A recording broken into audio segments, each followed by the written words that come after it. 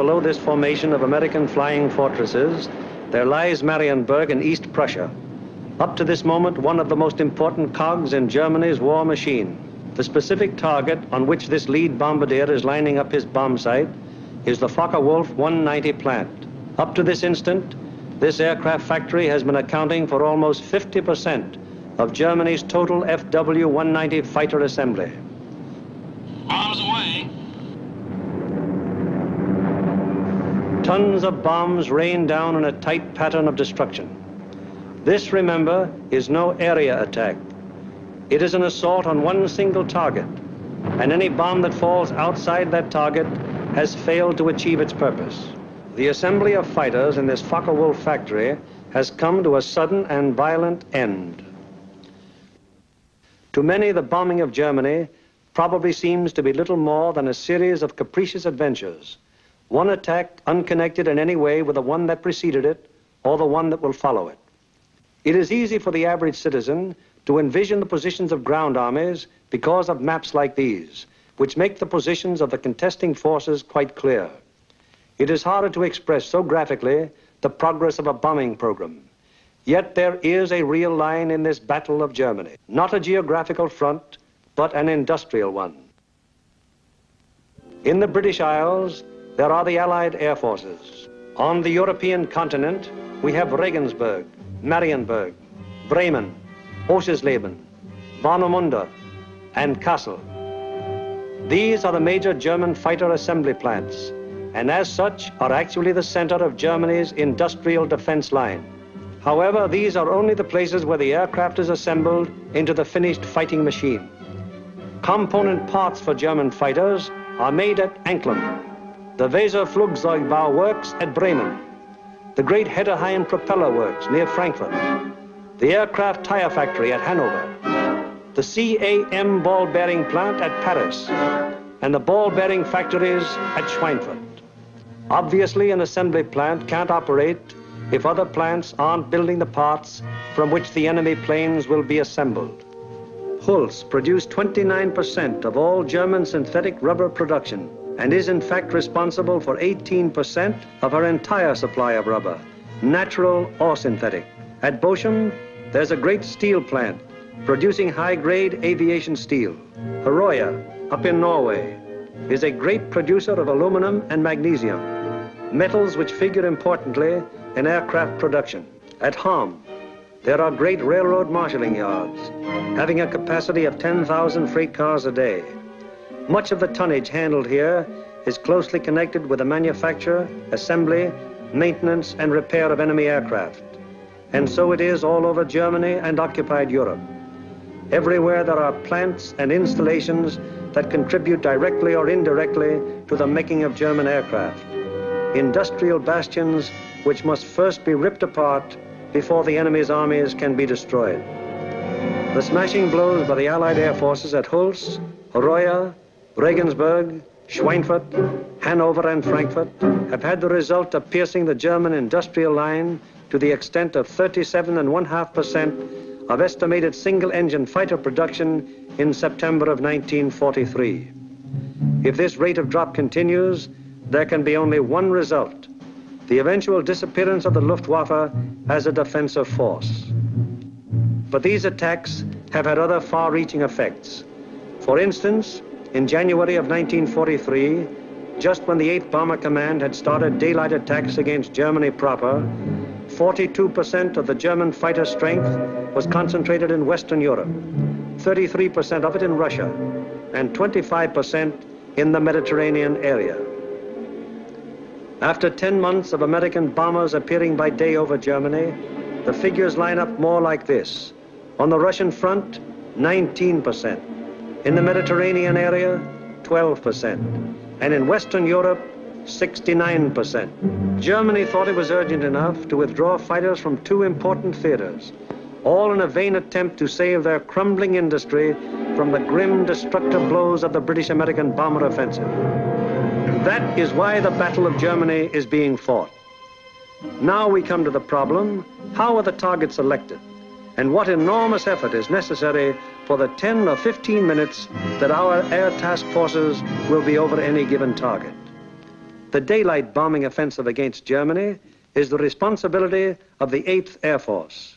Under the 8th Air Force are the 8th Bomber Command, the 8th Fighter Command, and the 8th Air Service Command, all of whom contribute to every bombing mission. But it is the Bomber Command which is charged with the actual destruction of the selected targets. The Bomber Command, with which this picture is primarily concerned, is divided into three divisions. Each division has a number of combat wings. Each combat wing, in turn, has three groups. This is the chain of command.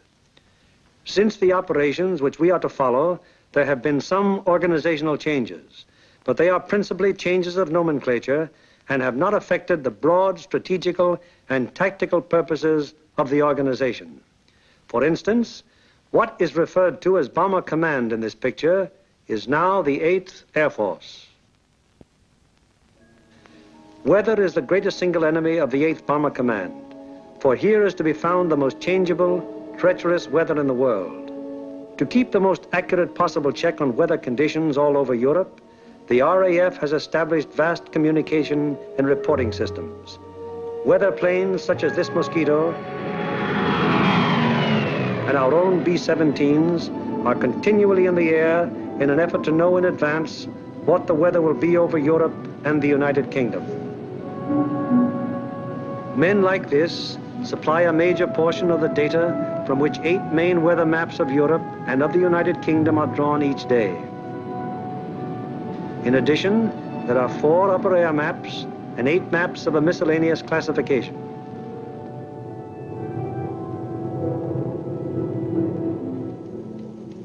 In this room, all weather information is collected, coordinated by the RAF, and sent out by teletype to every responsible command.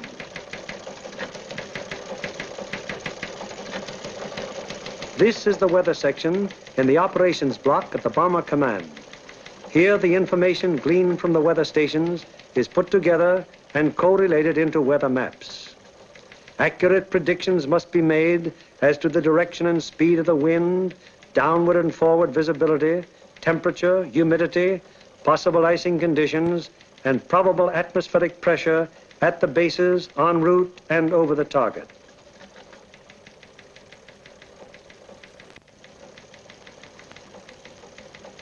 Upon the findings made in this room will depend whether or not there will be an American bombing of a German target tomorrow. This is the operations room of the Bomber Command. Here is where the wheels are put in motion for any American bombing attack. Right now, the officers you see are waiting for the commanding general's morning conference. They are the A3 or operations officer, the operational intelligence officer, a weather officer, and other members of the staff.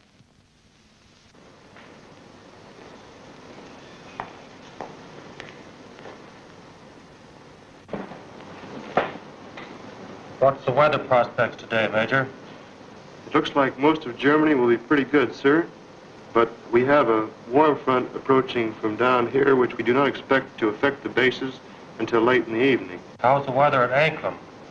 At Anklam, sir, we expect two to five tenths of low cloud and small amounts of middle and high cloud above 18,000 feet. Visibility six to eight miles. How about Marienburg? At Marienburg, two to four tenths of low cloud, uh, little or no middle or high cloud, visibility six to eight miles.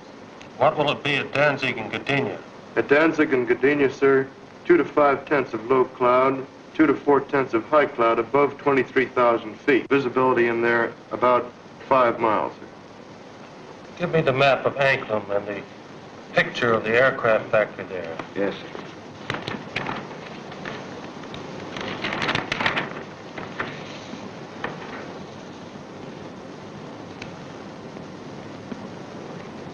All right, Marienburg, the Focke-Wulf factory. Yes, sir.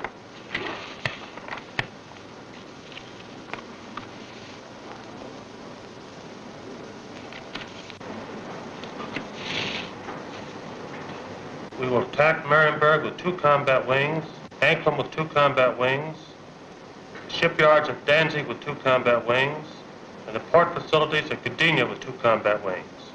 That will require a maximum effort.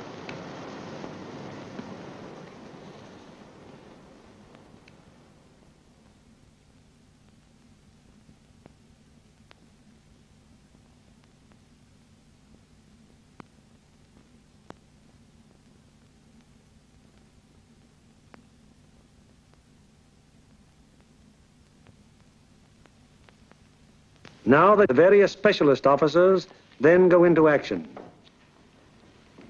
This is the operational intelligence section. Here are target files containing complete information as to the type, construction, and vulnerability of the targets. This data is gathered both from photo interpretation of aerial pictures and from confidential ground sources. On the basis of this information, the aiming point for the attack will be selected. The aiming point is a building or installation in the approximate center of the target. Here, operational research experts are minutely studying the architectural and construction details of the targets. It will be their duty to recommend, on the basis of studies previously made, the types of bombs and the proper fusing to accomplish the greatest possible destruction of the objective. These studies of the Arado factory at Anklam are immensely important since the nose and tail fuses of a bomb can be adjusted to give varying degrees of delay between the time of initial impact and the explosion. For example, an improperly fused bomb would react something like this. Result, very superficial damage that may hardly even cause delay in production. On the other hand, here's what happens when a properly fused bomb strikes the same factory. Two bombs of exactly identical weight and explosive power have totally different effects because one was fused properly and the other was not. It is the responsibility of the operational research section to determine proper bomb fusing. Here, the commanding general and the operations officer are working out the overall planning of each of the missions with the staff bombardier, the staff navigator, and the flak officer. This is a complex business because of the multiple nature of the attack. We'll attack Anklam one hour before we attack the other targets. That should draw most of the German fighters on the Anklam force. The Anklam force is big enough to take care of itself. You mean along the same course, sir? No, uh, send them a little south. Uh, they'll act as a better diversion. This would be the best place across the coast from the standpoint of pilotage. But, sir, the uh, flak concentration at that point is quite heavy, the heaviest along the coast. We could rather move them a little further south, where the general suggests, and they would not run into flak difficulties at that point. How is that for the navigation viewpoint? Well, that's a very good landfall, sir. All right, we'll cross at that point, and you adjust the flight times accordingly. Take care of it, Darrell. Yes. While this is going on, the various liaison officers stationed at Bomber Command headquarters are busy keeping their respective commands acquainted with the course of events. The closest liaison is maintained with both the RAF Fighter and Bomber Commands, the Royal Navy, the 8th Fighter Command, and the 9th Bomber Command. It is through these liaison officers that requests will be made for the necessary fighter support, diversionary effort by the medium bombers, air-sea rescue patrols, and so on. Officers at Fighter Command immediately look up plan number 2340 to find out what part the fighters are expected to play in the next day's operations. Similarly, the 9th Air Force is informed that Bomber Command intends to lay on plan number 2340. It will be the duty of the mediums to attack enemy airfields at a time that will cause maximum interference with German attempts to intercept the heavy bombers. Right now, weather officers are getting ready their forecast for the General's late afternoon conference where final decisions will be made. Right in there as planned. Yeah, it should. Should be okay. Thanks. Good In the enough. bag. Does your morning's forecast still hold? Yes, sir, there's practically no change in the situation, and we still expect the base weather to hold up for return. Send out the field order exactly as planned. Yes, sir. Get me the first, second, and third divisions on a conference call, please. Already with your conference call. Go ahead, please. Can you scramble? Okay. Over. Okay, over. Over. Okay, there's a mission tomorrow. Maximum effort with five task forces. The first task force, comprising six groups of the first division, will hit 3948. 3948. Secondary, 8731. 8731. Last resort, 9009. 9009. The second task force, comprising five groups of the 3rd Division, will hit 6848. 6848. Secondary, 6424. 6424. Last resort, 5381. 5381. The third task force will comprise four groups of the 2nd Division, which will hit 6424. 6424. Secondary, 5381. 5381. Last resort, any industrial target of importance in Germany. Okay. The 1st and 3rd Divisions will each dispatch one air... The field order now goes over the teletype to all interested units and command. The first step has been taken in the sequence of events that will finally result in bringing our planes over the targets and discharging their bomb loads.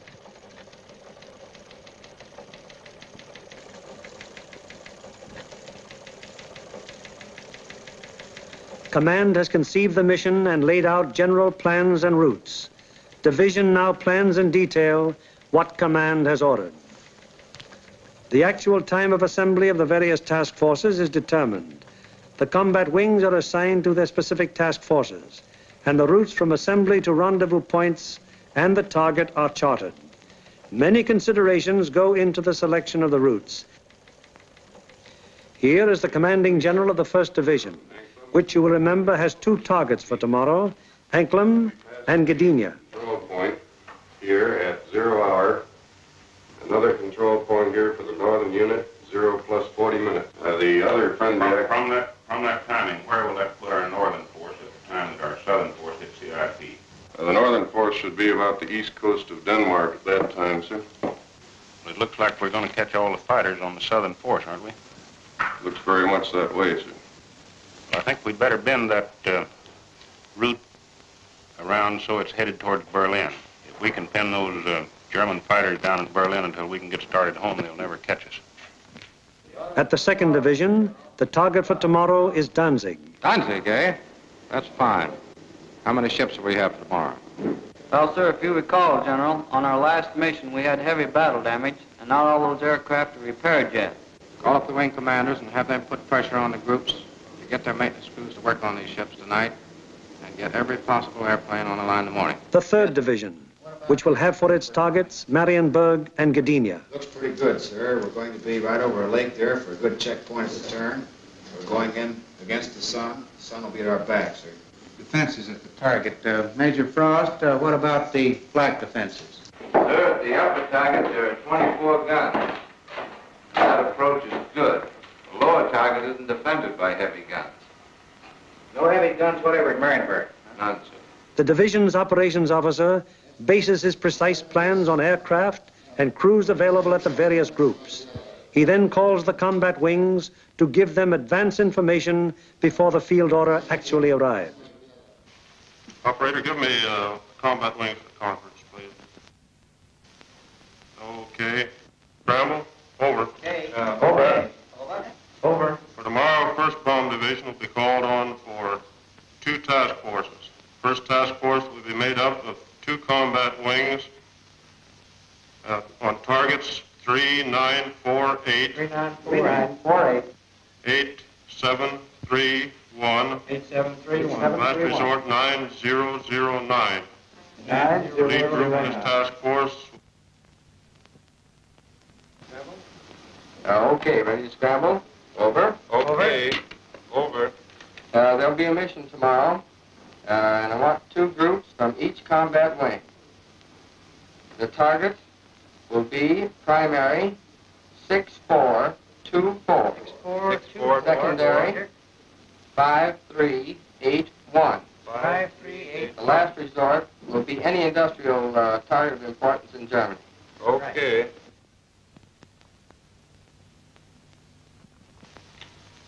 There's an order coming through. The 3rd Division will furnish eight groups. First and second wings, comprising the 2nd Task Force, will hit 6848. Six, eight, four, eight. Secondary, 6424. Six, four, two, four. Last resort, 5381. Five, three, eight, one. Last resort. Bomb load. 500-pound GPs fused, one-tenth nose, one one-hundredth tail.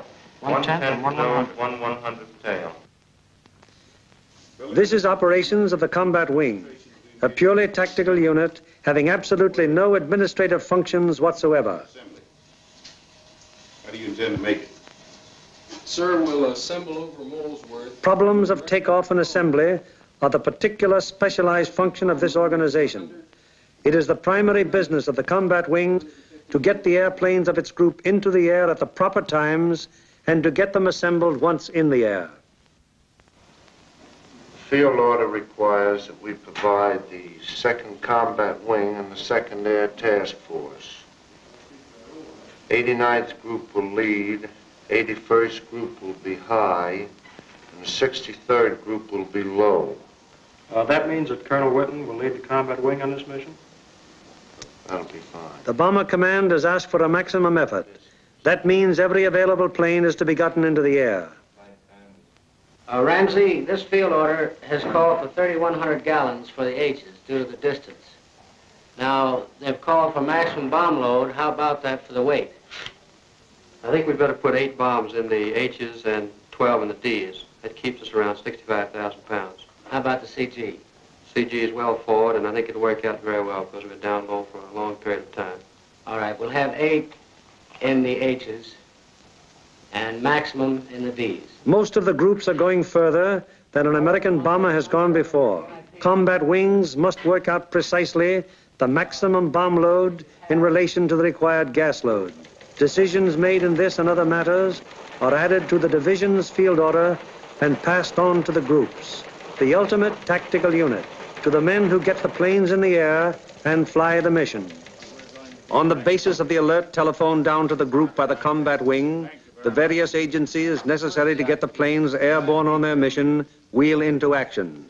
Intelligence, operations, weather, signals, group navigators and bombardiers have the grave responsibility of passing on and making clear to the combat crews the vital target and route information furnished by Bomber Command and Bomb Division. The proper information folders, maps, weather maps and charts, and photographs have to be selected by the various group officers and then the information therein passed on to the crews. In dispersal areas, ground crews are getting their planes in condition to fly the mission. The normal work of keeping an airplane fit for operation is enormous, even in peacetime. When you add to this already great job the element of battle damage, the problem becomes gigantic. Engines, wings, propellers, controls, wiring, fuel system, oxygen system, the thousand and one elements that go to make up the complex mechanics of a heavy bombardment plane all must be kept in perfect shape. The failure of any one of them on a mission can easily mean the loss of the plane and its personnel, or at best, such a failure will cause the plane to abort. That is, return to its base without having reached the target. It was originally estimated that about 37.5% of planes on hand would be effective at one time. However, the maintenance and repair has been so magnificently performed that sometimes up to 50% of planes on hand have been effective.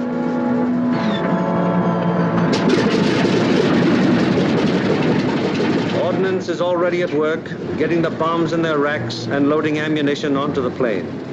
These are 100-pound incendiaries.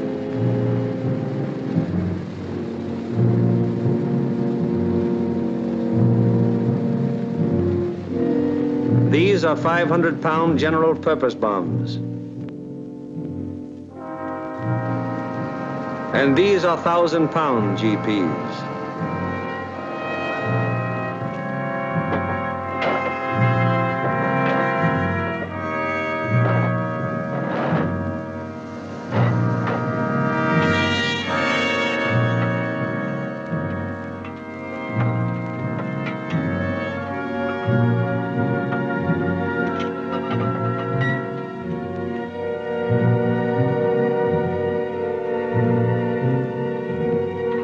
Bombs have to be placed in their racks very carefully. one bomb sticking in its rack through careless placement might make a whole mission useless so far as that individual plane goes.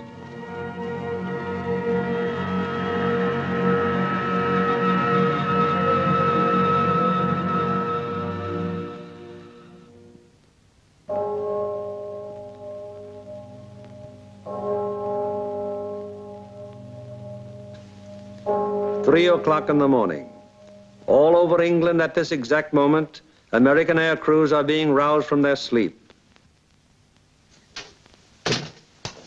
Okay, fellas, roll out. We have a mission this morning. Breaks in half an hour.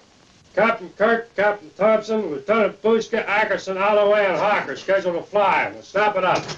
Three o'clock. This is a hell of a time to get a man out of bed. Oh, Come on, you drips. Out of bed. Breakfast in half an hour. Come on, Nick. Rise and shine. Oh. All right, you dodos, let's go. This is it. Okay, fellas, let's go. Come on, Swifty, get it out. Let's go. Go, you guys. Hit the deck. Breakfast at four, breathing at five. Let's go. That's fine. Just when I had a 48-hour pass coming up. Can't you guys? You're running my beauty sleep. Through the cold of the English early morning, the combat crews go to their mess. They have no idea where they're going yet, but they know they'll be taking off in about four hours.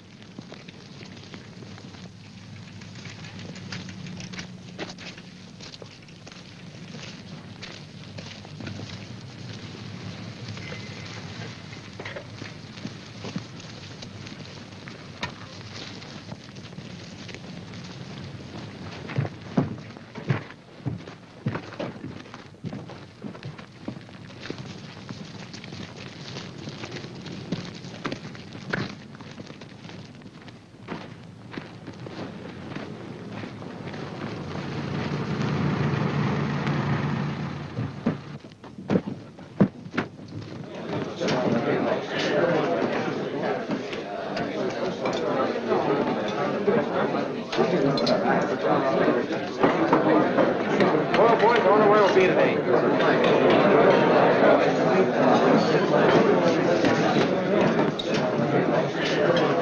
How do you figure those Jerrys will be today? What do you think, Dove? They'll be shooting at us. Sometimes I don't think those Jerrys got proper respect for us. Well, what do you expect, Buster, the way you shoot? Gee, look who's talking. You couldn't hit a cow in the flank with a bow feather. Yeah, well, how about those two Jerrys I slapped down over Schweinfurt? I'll tell you what happened there. They heard that I was on tail guns and they fainted from fright, that's all. And so it goes. The 4,000 men who will go on this mission all know it will be a rugged deal. For some of them, it's their first mission. Others are veterans of many. Happy to get through. Now, at all the groups in the Bomber Command, the air crews are assembling in the briefing rooms to learn the target for today. Okay, boys,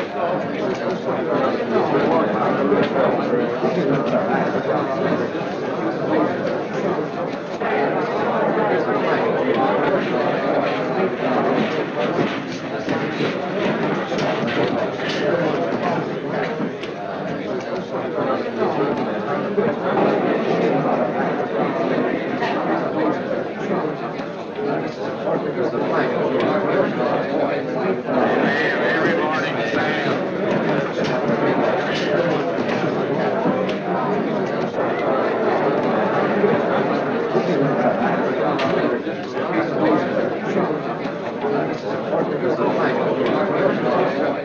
This is the briefing room of the 303rd Group.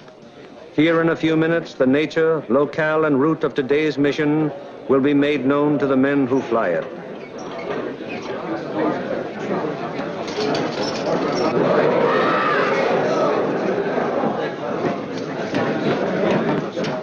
target for today is Anklam. Specifically, you are to destroy the Arado factory. This plant manufactures aircraft components, principally wing and tail assemblies for the Focke-Wulf 190. The parts are then shipped to New Brandenburg for assembly. I cannot stress upon you too much the importance of this target. If it is successfully destroyed, it will have a very serious effect on Germany's aircraft production. Lights, please. Your IP is on the northwest side of New Brandenburg. Your heading on your run-up will be 45 degrees true. Immediately after your turn, you have an aerodrome on your right, almost directly north of the town. You should be able to pick out Friedland, six miles to your right and halfway between your IP and the target. Along this route, you should be able to see the main line railroad and the main road. From Friedland, the main road moves in toward your run-up and goes into Anklam, but the railroad terminates at Friedland. Shortly after passing Friedland, you will see a peculiarly formed wooded area On the right of your course. From here, pick out the aerodrome slightly southwest of the city and the intersection of the main railroad and the Peene River just outside of the town to the north. Night target map.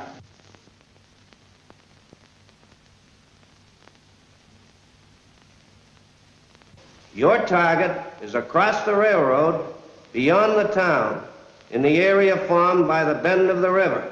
And now a picture of the target. This group of buildings here is your target. This building will be the aiming point. If your bomb pattern is concentrated in this area, it should very effectively knock out the factory. Lights, please. At the 379th, the intelligent briefing continues. Eight groups will bomb from an altitude of 13,000 feet. We feel that this low altitude will be equalized by the element of surprise which is with us, and should ensure a thorough and complete finding of the target. Another task force is hitting the FW-190 assembly plant at Marienburg. If the two missions are successful, 65% of Jerry's remaining FW-190 production and assembly facilities will be destroyed. At the 384th, Other forces are attacking submarine yards, aircraft assembly plants, and units of the German fleet at Danzig and Gdynia. If these attacks succeed, they will destroy 13.5% of Germany's remaining U-boat construction and will destroy or immobilize a large section of the German Navy. The overall result of all four attacks will be to show the Hun that his efforts to protect his key industries by moving them to the east will be unsuccessful. It'll show him that we will seek out his industry and destroy it wherever he places it. at the 351st, the intelligence briefing is completed. Your secondary target this morning is the air park at Tutow. This contains a Focke-Wulf assembly plant, a bombardier school, and you'll love this. It's the country club of the German Air Force. Should you be unable to bomb either of those two targets, then in that case, you'll attempt to bomb the last resort target, which is the Heinkel assembly plant at Rostock. This is the only complete Heinkel unit in North Germany. It should be easily identified by the airfield adjoining, which has six intersecting runways running from 1,000 to 1,600 yards, and they're full of nice, fat, juicy Heinkels. A weather officer briefs the crews of the 305th group going to Gdynia. The synoptic situation today is this. We have a high pressure system centered over northwest Europe, up here near Finland, extending southwestward down across the British Isles, causing an influx of south and southwesterly air going up in this direction. Hence, causing little or no cloud in the area up there and toward your target. There are no fronts to affect your route today except a frontal system off to the west which will cause an increase of medium and high clouds as you come back across the North Sea. Lights, please. At takeoff time, there will be nil to three-tenths low clouds, also a layer of high clouds above 23,000 feet, four to six-tenths in amount. Also a middle layer of clouds in there between 10 and 12,000 feet. these medium and high clouds decreasing out over the North Sea to 3 to 5 tenths each in amount. The low clouds will increase as you go out toward the North Sea to 3 to 5 tenths. Base uh, 1,500 to 2,000 feet, tops 4 to 5,000 feet. There will be some fog patches over England, visibility 1 to 2 miles, except in those fog patches 500 to 1,000 yards. Visibility increasing rapidly out over the North Sea and the remainder of your route to 4 to 6 miles. The high clouds uh, continuing 3 to 5 tenths, uh, and also the middle clouds on toward the target, decreasing to nil at the target. Low clouds continuing 3 to 5 tenths, decreasing to 2 to 4 tenths at the target, base 2,000 feet, tops 5,000 feet. Visibility 4 to 6 miles. The temperature at bombing altitude minus 26 degrees centigrade. The freezing level on your route out 12,000 feet over the North Sea with light, light rime in the middle clouds. As you return back to base, that freezing level will lower to about 7,000 feet, continuing light rime in your middle clouds. Now, on the return route, weather will be very similar to your route out, except your clouds increasing in amount as you proceed back across the North Sea. Base on return, visibility four to six miles. A flak officer briefs the 389th Group of the 2nd Division going to Danzig. Now, gentlemen, this morning, because we are going to cross the Danish coast at such a relatively low altitude, we've planned the route so as to avoid as much flak as possible. At any rate, any flak that you do encounter will be merely a deterrent in nature. Uh, however, you can expect heavy flak batteries at a place where we make landfall here at Nymindegab, about a mile south of Kursk.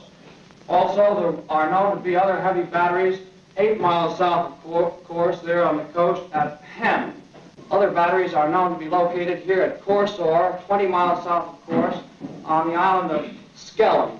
From then on, the target, you will have very little flak. Now, while you're crossing the coast and when you're over aerodromes and cities in Denmark, uh, you are advised to take evasive action. Now then, when you get to the target itself, your anti-aircraft fire from the ground will be known to be supported by fire from naval units. Now, for those of you who have never been fired on by a naval unit, I want to add that naval units can put up a hell of an intense barrage, and you want to look out for it. An operations officer briefs the crews of the 94th Group of the 3rd Division. This group is leading a formation to Mariensburg today. The 880th will be high group and the 764th will be low group. Bomb load of each ship will be three 1,000 pounders, used one-tenth nose and one one-hundredth tail. Get that, bombardiers. You'll also carry five M47A incendiaries. You'll have full Tokyos, 1,000 gallons extra. Takeoff will be normal, assembly 1,000 feet over the field. After takeoff and assembly, proceed up this line to this point. This will be your combat wing assembly line. You'll leave the coast at this point here, that's splasher 15. Let's not have any stooging around over England, it's a long haul. The 57th Combat Wing will follow us today at a three-mile interval. Now to the 95th Group. Uh, B-26s will be hitting the Lille area and the lowland uh, at approximately zero hour minus 40 minutes. Uh, one group of P-47s will strike the, the Warden area and join us for escort on the way out, joining us at approximately this point here. Uh, all other forces are using approximately the same route today. Uh, just one point, that the Anklam force will probably pass us coming out as we're on our way in. Uh, you should see plenty of air activity. Let's hope that most of it is ours. the climb will commence at the English coast, climbing at 150 miles an hour, 100 feet per minute. Uh, we should reach bombing altitude approximately at the Danish coast, and under no circumstances should the Danish coast be crossed at less than 12,000 feet. Uh, we will drain Tokyos as soon as possible. Uh, we should have plenty of gas. We figure approximately 400 gallons overload. At the 100th, The operations briefing is completed. Fly loose formation today with groups echelon to the right until a point 75 miles from the enemy coast, where normal combat form, combat wing formation will be assumed. For visibility, everybody use Aldis lamp. The Royal Navy will be out patrolling the sea routes, so any crews that have to ditch will probably be rescued very quickly. The commanding general of Bomber Command asked us to put out a special effort today, so let's give it to him. The commanding officer of the group invariably has a few words to say. Men, the going's going to be rough. You're going to have to bow your necks in there and stay in there and pitch every minute. Now, gentlemen, this is the type of target you don't want to have to go back after the second time. If you fly a good, tight formation, get a good, dense pattern on that target, we won't have to. This Anklam crowd down here may pull most of the fighters off of us. However, that's just a guess. So particularly for you gunners, you've got to be on the ball from the Danish coast onto the target. Flak will be heavy, probably accurate. You've been through worse before. Remember that your biggest enemy is still the single-engine fighter plane. Now, you bombardiers, take your time in going in on your releases. And don't allow the flak to worry you. It's merely to break up your formation. Now, if you get in any trouble up in this area, remember you can always board a sweep. Get on, it's a neutral country. And it's close over there. Could be rough. I don't think it'll be too bad. And whether it's easy or rough, I'll be sitting out in front, taking the, the whole works in. The main briefing over, the pilots, navigators, bombardiers, radio operators, gunners, receive separate specialized briefings. These briefings are very technical and very thorough, and are held so that every member of the combat crew will understand exactly what he can expect and what is expected of him. Any lack of thoroughness here might very well result in the failure of a mission. As dawn breaks over the English countryside, it finds the ground crews still working grimly in an effort to get every plane in the air that is scheduled to be dispatched.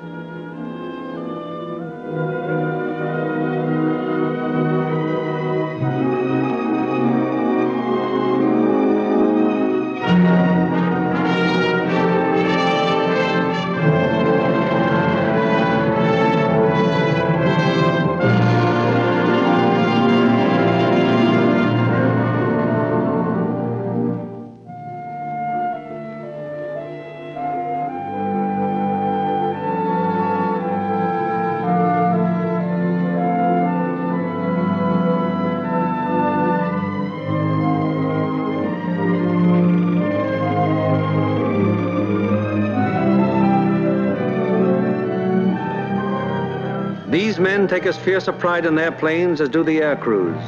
To each of them, it is a personal tragedy, reflecting in some way on their capabilities when their airplane is forced to turn back without having completed its mission, or when they have been unable to get an expected plane ready in time for a mission. It's getting on to the time when the combat crews go to their planes. Here they are in the crew room, putting on their flying clothes. Clothes and equipment especially constructed to ward off the intense sub-zero cold which they will encounter so shortly.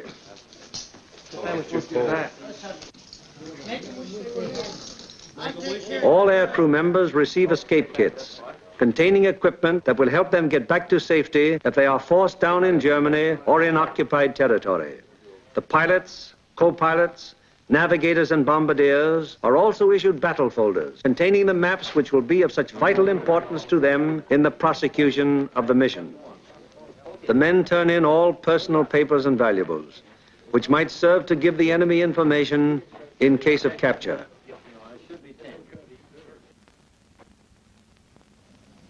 Some of the crew members turn to their chaplain, whose ministrations are always available to the men of the bomber bases.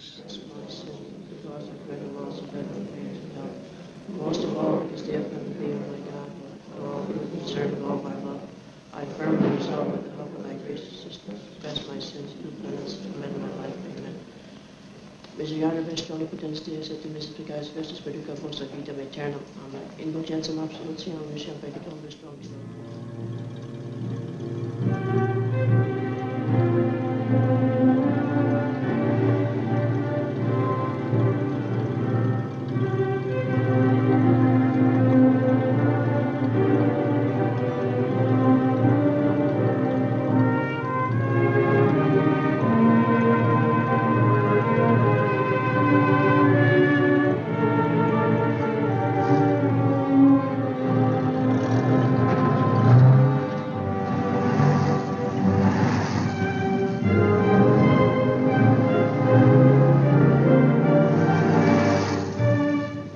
Changeable is the weather in the European theater that sometimes widely varying conditions will be found on fields only a few miles from each other.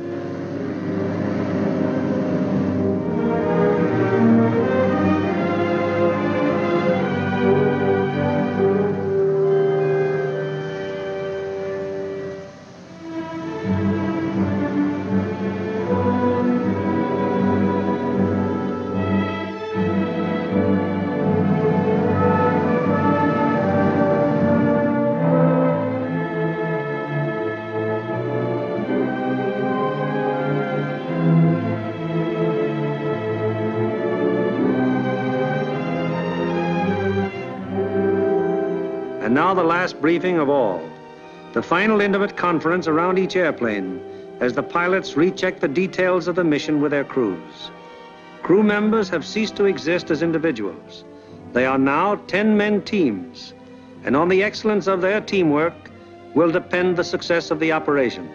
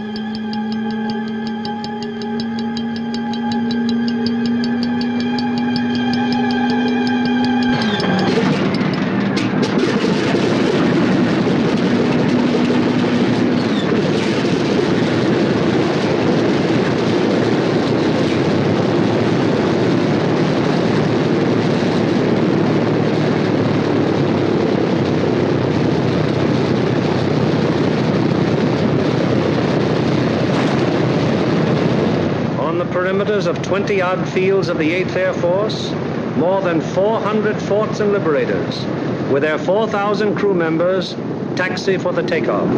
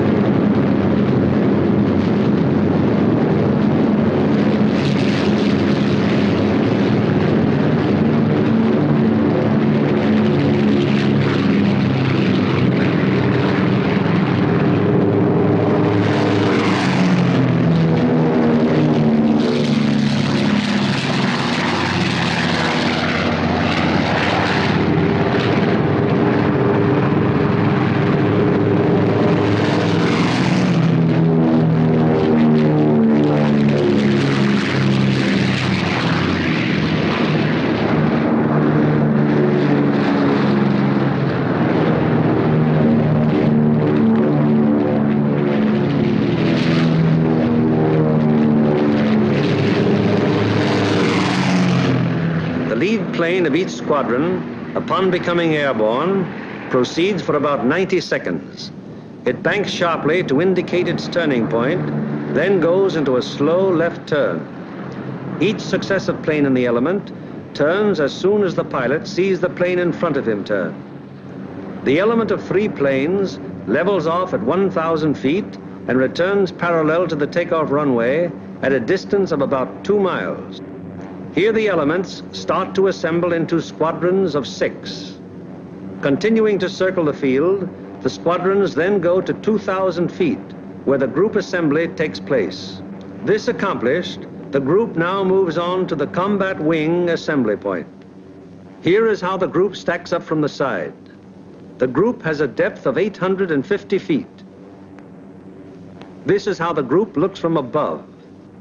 In the lead squadron, the second element is flown with the nose of the leader slightly behind and to the right of the right wing aircraft, first element. The lead plane of the high squadron flies even with the lead plane, second element, lead squadron. The second element of the high squadron flies with the leader's nose just behind and to the left of the left wing aircraft, first element. Here is the group as an enemy fighter pilot sees it, from head on. The first element of the lead squadron is stacked high left and low right. The first element of the low squadron is stacked high right and low left. Likewise, the first element of the high squadron is stacked high right and low left. All second elements are flown low. The second element of the lead squadron is stacked high left and low right. The second elements of the high and low squadrons are stacked high right and low left. Experience has shown that this arrangement of the group brings to bear on attacking fighters the greatest possible amount of firepower by utilizing to fullest advantage the field of fire of each gun in the formation.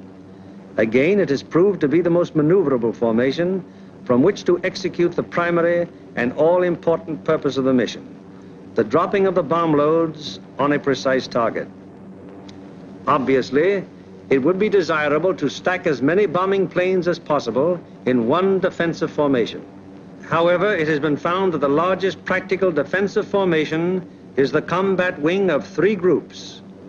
Any formation of aircraft larger than this becomes unwieldy. This force has a depth of 3,000 feet. The nose of the lead aircraft of the low group is aligned with the tail and slightly to the left of the rearmost aircraft of the lead element, lead squadron, lead group. The nose of the lead aircraft of the high group is aligned with the tail of the rearmost aircraft of the lead element, lead squadron, lead group. The combat wing having been assembled, they now move on to make rendezvous with the rest of the task force. In this case, another combat wing.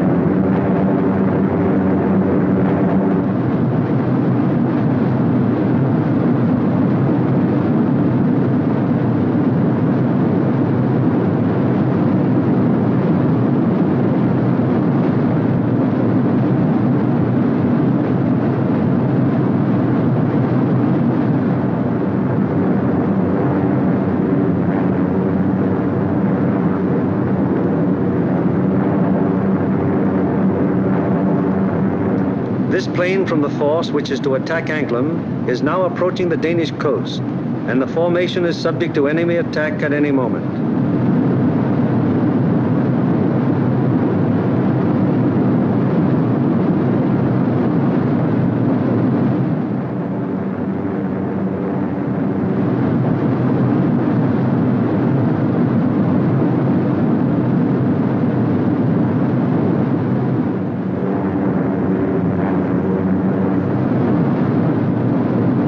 There's Charlie doing his twirl again. I wish I had something like that to play with. You guys wouldn't know what to do with a turret if you had one. Took six months to teach you how to pull a trigger. Well, it taught us anyway. All right, fellas. Can the small talk and keep the intercom open. It is now 10:30 hours, and Denmark has been penetrated to some distance without any great opposition as yet. So far, there has been only some light and inaccurate flak at the coastline. Some flak guns have opened up on us.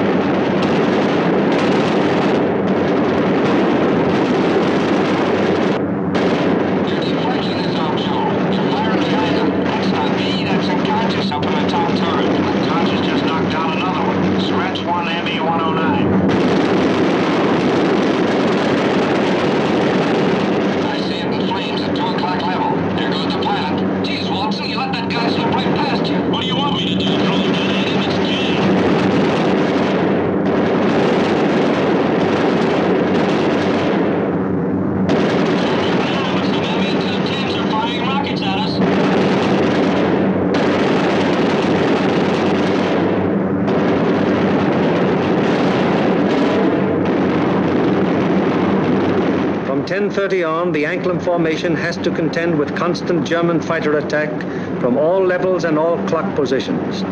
During this time, the gunners aboard the fortresses knock down fighter after fighter.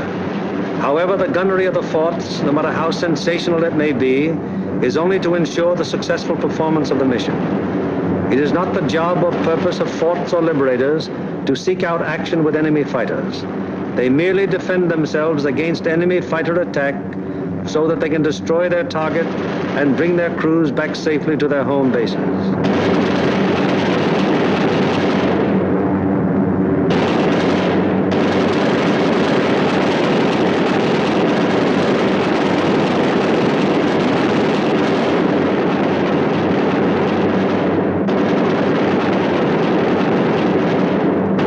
An anxious moment comes now for the lead navigator and bombardier. The formation is approaching the initial point. That is the point where the wing will turn off and make its bombing run on the target. Upon proper navigation to this point may rest the success of the entire mission. Pilot to left waist gunner. We're over the IP. Release flares. Waist gunner to pilot. Roger. Once the combat wing has reached the IP, it breaks up into three component groups, for the wing formation is too unwieldy for a unit bombing operation. As the IP is reached and the lead airplane of the lead group is about to make the turn, it fires two red flares, spaced five seconds apart. Then the group makes its turn onto the run-up. The low group goes on straight ahead for 20 seconds, then makes its turn. The high group proceeds for 20 seconds beyond the low group's turn, then it turns onto the run-up. The most critical defensive period in the mission has begun. The wing, to accomplish most efficiently its primary purpose, the bombing of the target, has sacrificed its mutual defensive firepower, and the groups are thrown on their own. Now the crucial moment is almost here, the moment around which the entire mission revolves.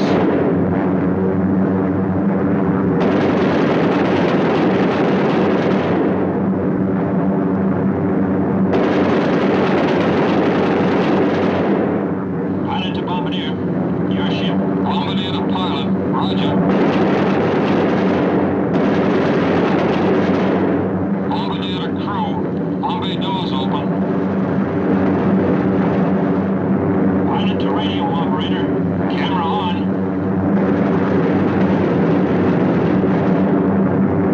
The Doors open, the group is committed to its attack. No evasive action may be taken until the bombs are away. And at this time, the formation is most vulnerable to attack, both from flak and enemy fighters.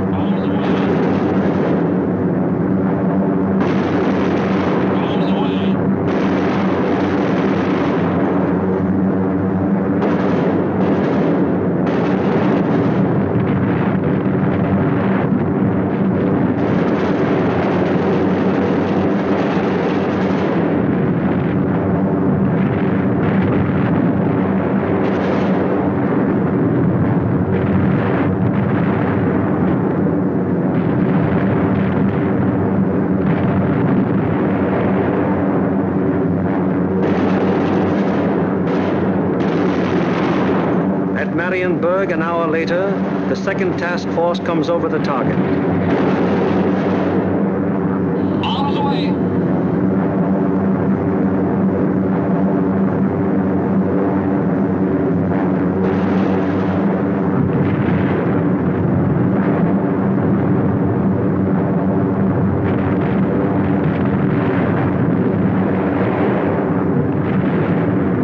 The third task force comes over its target at Danzig.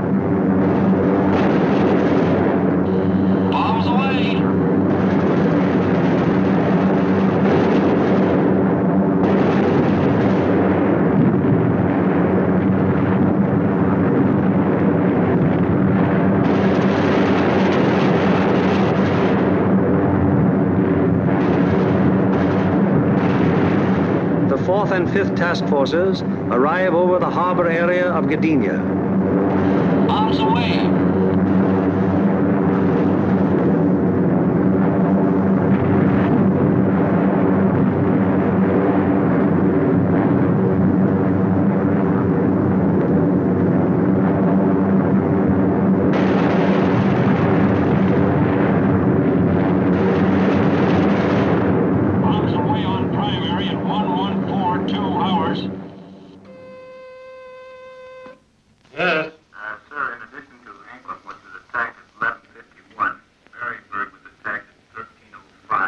It is standard procedure for the group leader to inform Bomber Command the moment the target has been attacked.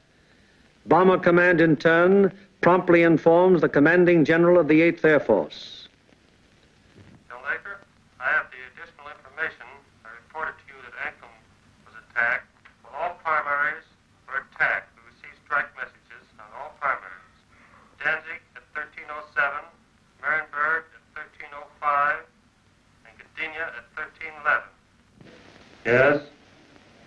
Yes, sir. I'll advise you as soon as they land.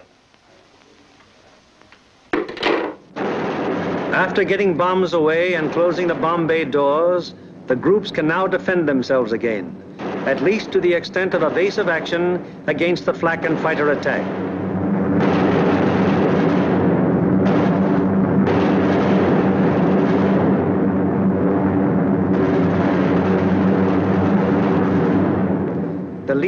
Flies a straight course for 15 seconds before turning off to the rally point. The lead group then proceeds to the rally point at an indicated airspeed of 155 miles per hour, making S-turns meanwhile to permit the trailing groups to catch up. The lead group crosses the rally point at a height 1,000 feet lower than bombing altitude. The succeeding groups will close with the lead group as quickly as possible to regain the defensive combat wing formation. The following groups need not necessarily pass exactly over the rally point in regaining wing formation. In the meanwhile, the Marauders take off to fulfill their part in the day's operation.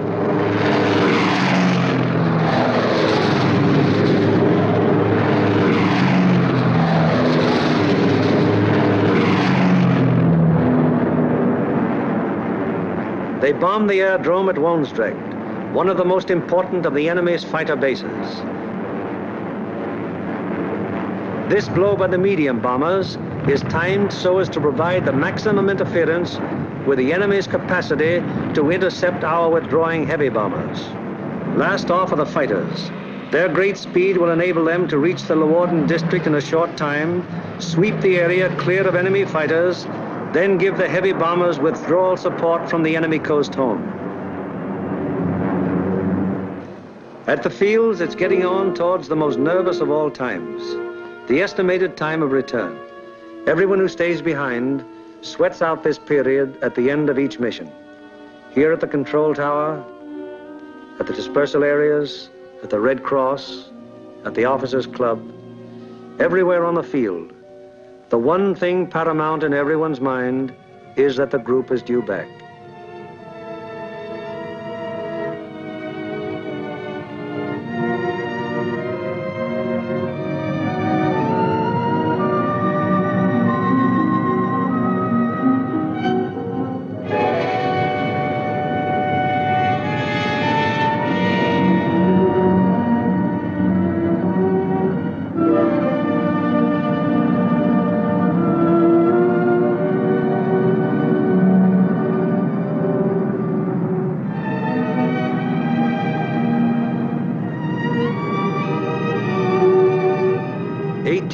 To attack the target. How many have returned? One, two, three, four, five, fifteen, sixteen, seventeen, eighteen. Eighteen dispatched, eighteen returned. Twenty-three dispatched,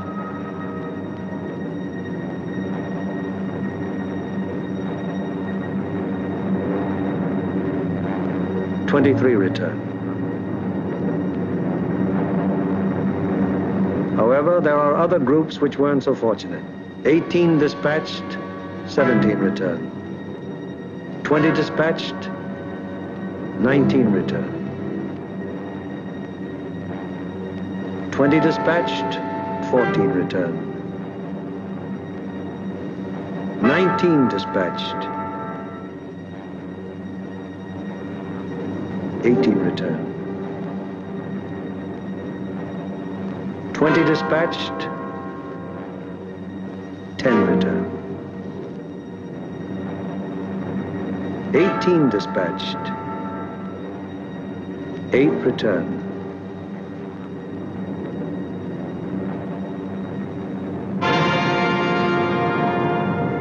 Flares dropped from aircraft signal the presence of wounded aboard. These airplanes are given priority in landing.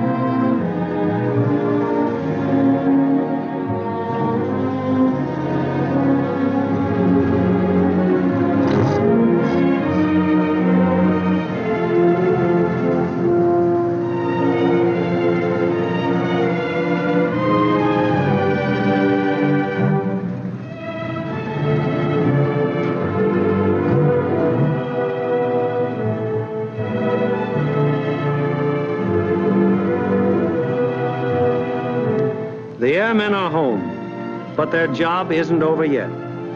Before they can go to their billets for a well-earned rest, they must first undergo one of the most important phases of any mission, interrogation. It is highly important to question the crews at the first possible moment after the mission, while their impressions and memories are still fresh.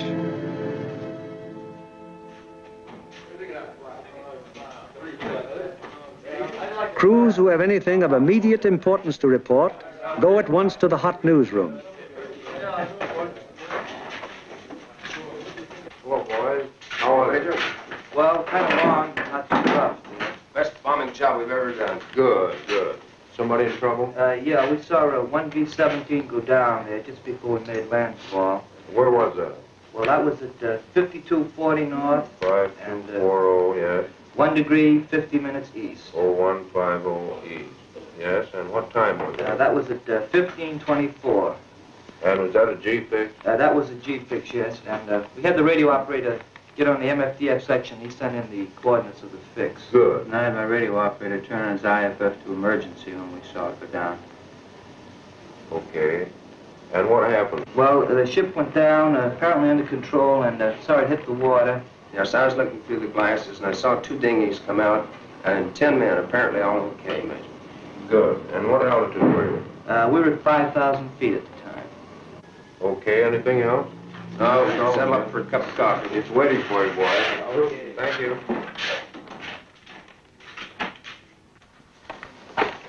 Third division, please. They are Smitty, I got a B-17 crew down the dinghy. Thanks, Bill. 16 group, please. Special aircraft priority. Flight control, please. Uh, 16, uh, bomb division here. We have a B-17 reported fixed at 52 degrees, 30 minutes north, 1 degree, 30 minutes east. That's right. He was seen to ditch, yes. He was seen to ditch at 15:24 hours by the reporting aircraft. Two dinghies were seen to break out, and 10 men got into them. The reporting aircraft is at 5,000 feet. Yes, that position's an MF fixed. Okay, 16. Thank you.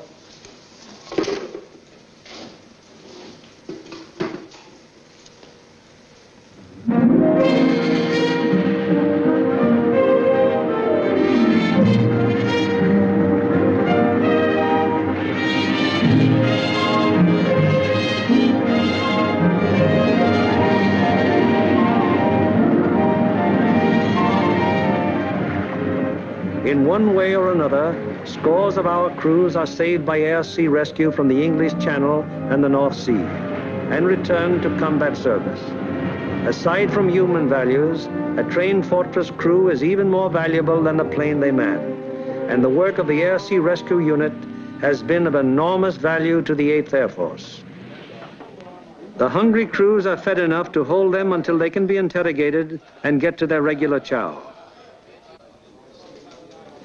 These men are from the groups that went to Anklam. What time did you go over the target? Uh, at 11:43 hours, we went in at 12,000 feet. Did you get your bombs on the target? Yeah, yeah. What about enemy fighter opposition? Well, that's something we better not discuss. Really, really? Well, let's get some of the details. Where did it begin, Paul? Well, they first jumped us at 10:30 there, just off the Danish coast. And how long did the attack continue? They stayed with us to the target and until 13:27. Then at 13:45, we had another group attack and stayed until 14:05. We had a couple more attacks, and the last one was at 15:26, just off the Danish coast coming out. And about how many enemy fighters did you see? Well, I don't know how many of them might have been repeated, but I saw 60 or 70 myself. I couldn't keep track of them, sir, but I counted about 65. I stopped trying to count when I got to 50, sir. Well, do you think it'd be accurate to say then that your ship saw between 65 and 80 enemy aircraft? Yeah, What type of enemy aircraft did you encounter? Well, from what I could see from the tail, they threw the book at us. FW-190s, ME-109s, 110s, 210s, Dorniers, even Ju-87s and 88s. I saw a couple of Focke-Wulf 189s, at least two Heinkel 111s. What positions did they attack from? Oh, they came from all over the place. Fighters are pressing home their attacks from three to 400 yards. Would you characterize these attacks as determined? Determined? I'd rather you can say that again. No, I think those guys are really trying to shoot us down. I wouldn't be surprised. How would you describe the enemy fighter tactics? Well, I would describe them as murderous. Yes, they usually attacked in formation, queue up about three or 400 yards away, 12, 13 single-engine fighters, come barreling right through the formation. How'd the twin-engine fighters react? They stayed out to the side and above, just out of the range of our guns and shot cannons and rockets at us. Then they'd queue up and press home a regular fighter attack. What caliber would you say the cannons were? My guess would be 37 millimeters. What do you think, Adam? What about the rockets? We shot a lot of them. I didn't actually see any hit our formation, but they weren't doing us any good. I saw one of them blow a wing off the 17 below and ahead of us. They started to spin in. Any shoots? No, sir, I didn't see any. Where was this? Over the target, right after we talked about bombs. Fellows notice any distinctive markings on the enemy aircraft? Yeah. Oh, quite a few. There are a number of FW-190s, mostly yellow noses, some white noses. No red noses? No, I didn't see any. Boy, those yellow-nosed boys really come in close, don't they? Did you see that one come right on our left wing? Yeah, I saw a 109 with black and white diagonal markings under the wings. Black and white. I had white nose. All right.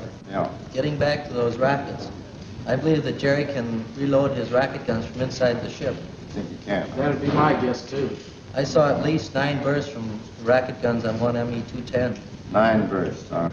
Talking about 210s, there was one that came in and shot a cluster. It looked like clay pigeons to me. Say, those things looked like baseballs to me. Can you describe that more fully? How did they react? Well, they didn't look like baseballs. It was more like streamlined and smoked all the way down, but they didn't explode. Didn't explode, huh? No. What about planes?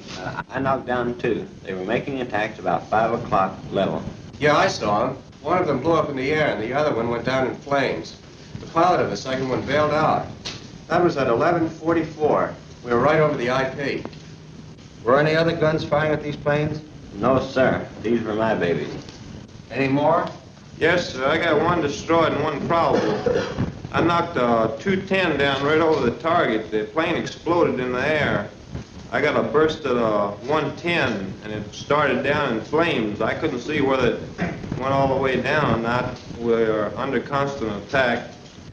Bombing results and enemy fighter reaction are only one phase of the interrogation. The enemy's anti-aircraft defenses, their concentration and their accuracy are also matters of great interest to the interrogators. The group of the 2nd Division, which went to Danzig. How would you describe the flak en route to the target? From the coast to the target, it was uh, meager and uh, inaccurate as to height and deflection. Over the target, it was still meager, but pretty accurate as to height and deflection. Is that how the rest of you fellows would describe it? What about on the way back? Well, it was meager and inaccurate, except now when we crossed the coast. They threw up a box barrage that was pretty accurate as to height. In fact, it was good as to altitude, but the deflection was a little off. The first burst hit about 100 yards ahead of the lead plane. And uh, we felt the concussion of it, right? We got a couple of flak holes in the fuselage right around my gun position. Any other battle damage? A couple of flak holes in the nose. Burst is 303 in the number four engine. Uh, got an oil line. What was your altitude when this box barrage almost caught you? Uh, 21,500 feet. Did any of you notice anything unusual or peculiar about the flak burst? No, it looked like the same old black flak to me. What's the sixth we have seen? Also valuable to the interrogator is any intelligence that might be picked up by the crews en route to or from the target. Such observations may be completely incidental to the mission, but can prove to be of great value at another time when another target is being attacked. Let's find out what the force attacking Marienburg discovered on their way to and from the target. This smoke screen at Danzig, where did that emanate from? Well, it looked like to me it was coming from off of floats and boats here with smudge spots on them, anchored just a little ways off the coast. Yeah, Ernie, they were shooting it up from the ground, too, and it get up so high and uh, That is burst mushroom. and mushroom out. Mushroom out. Would you say it was effective? Well, we didn't pass right over the city itself, uh, so we couldn't say definitely, but it looked like to me it'd be pretty doggone effective. Was all great? You see anything else? Yeah, there's a new airport about two miles below Danzig there, south of Danzig. What it look like? Pretty large airport with grass runways and a lot of construction at the south end. I seen another one there at uh, Puck. It seemed like it's building runways and uh, some buildings, new building like they're fighting up to be hangars. Okay. Now, how about military installations? Did you see any of those? Well, uh, south of Stadtdorf in East Prussia, we uh, saw some installations that might have been fortifications. Uh, they were large rectangular buildings with red tops. Yeah, there were two rows of four. Four buildings each? Yes. Good deal. Now, did you see anything else? As soon as interrogation of the men is finished, the interrogation forms are checked and general statistics on the group's part in the attack are compiled. All right, let's get going on this report. Okay. Uh, B, number of aircraft dispatched. 20. C, number of aircraft attacking the primary target. 20. Hello, I want the A2 duty desk. Hello, this is Norgan 492. Got flash teletype report for you. You ready? The organizational flow which we have observed throughout this picture has now begun to operate in reverse.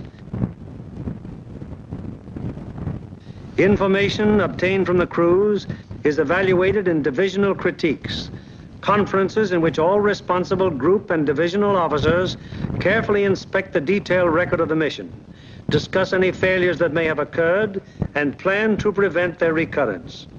After a particularly large or important operation, there will be a command critique, with the 8th Air Force Commanding General presiding. Here in the dark room, the strike photos of the targets brought back by the returning planes of the group are developed and printed with all possible speed so that experts of Bomber Command can assess the damage done. Coming in from planes of every group participating in the various raids and interpreted and appraised by trained photo interpreters, these pictures will give Bomber Command an excellent idea as to exactly what parts of the various targets were hit and how severely. Here, as seen in these pictures taken the following day by photo reconnaissance planes, severe damage has been inflicted on all the major and most of the minor buildings of the Arado factory at Anklam. This is a strike photo showing how Danzig looked during the attack. Very extensive damage has been suffered in the harbor area. Here is an annotated PRU picture of Gdynia as it appeared after the attack. A near miss is seen on the liner Deutschland type. The transatlantic liner Stuttgart does not appear in this picture, although she was seen afire and in the hands of tugboats immediately after the attack, as these strike photos reveal. Aside from the Stuttgart, several ships in the South Basin have been sunk or damaged, including the liner Oceania. Shore engines are also heavily hit. At Marienburg, the PRU photo discloses that the damage was exceptionally severe almost every building having been destroyed or seriously affected. General Arnold has characterized this attack as the greatest example of precision bombing on record. Other targets will be as thoroughly destroyed.